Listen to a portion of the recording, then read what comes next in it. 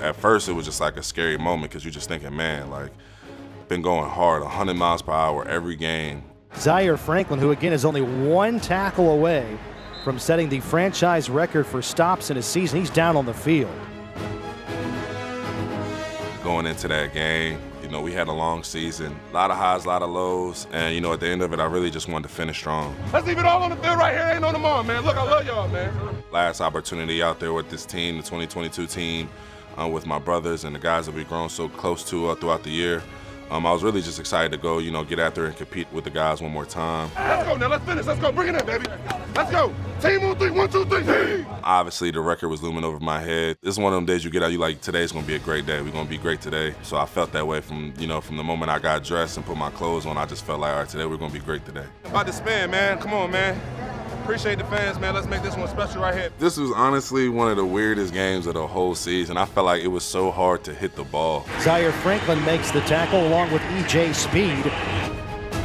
For Zaire Franklin, he's got four tackles, so he needs one more tackle, and he will break the Colts record for tackles in a single season. Me and Speed been competing for tackles since back special teams. And Speed always does this little thing. E- even if I get there first, Speed to jump up and celebrate first. And he's stolen a lot of tackles from me like that. So we got up, and I'm just laughing at. Him. I'm like, I'm like, Speed, look at you trying to steal my tackles again.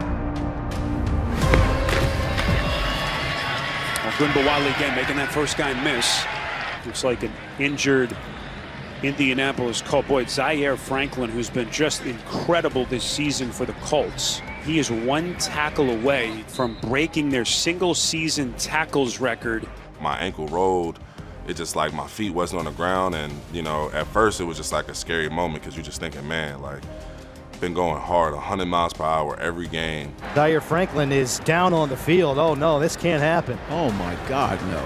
Just to hurt and get this major setback at the very last moment. Zaire Franklin, who again is only one tackle away from setting the franchise record for stops in a season, he's down on the field. Also at the time, not knowing where I was with the record, but just really just thinking about, man, I just want to compete and really want to go. You know, you see me on the ground. If I ever get hurt, I'm gonna be rolling around. I'm gonna be crawling around because because it hurt. Like if, if something really hurting me, I'm gonna let it be known. So, but once I kind of got the initial shock down, you see Speed there. Speed, bro, Speed really my brother, man. Much love to Speed. He uh. I'm laying on the ground. He came and checked me. He's like, Z, you good? I said, I'm okay. He said, okay, I'm to tell Candace, my fiance. Uh, she's in the stands in the front, you know, worried, upset, you know, trying to make sure that I'm okay. You see, he'll give her the thumbs up just to let him know, like, look, Z going to be ours. So now she know, okay, you're not to rest easy. know he's going to be okay. He has been such a warrior, such an Iron Man out here walking around, giving the nod that it looks like he'll be able to go back in. I know it's going to hurt, and, you know, it's the last game of the season. You know, I already had a great season. It wasn't really much else to prove. You knew it was going to take more than that to knock Zaire Franklin out of this game with as close as he is to that single season tackle record. My linebacker coach, Coach Smith, pulled me aside and was like, look, you know, he cares more about me and my well-being and my future than, you know, this game or any record. And was just like, look, I'm not gonna let you go out there and hurt yourself. Um, I want you, I want you gotta think long term. I said, look, just give me one drive. If I say if I go out there and I'm wobbling and I can't defend myself for the first drive, then pull me. You know, if you see it, you don't like it, pull me.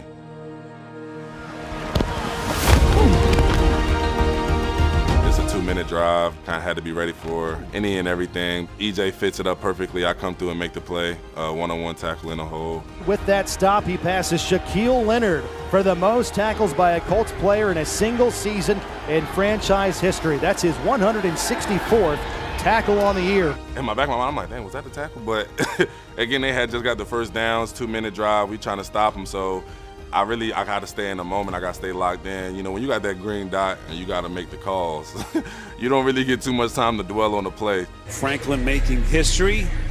What a moment for that young man. Shot, good snap. Colts bringing the heat. They get him down with the sack. It's Zaire Franklin.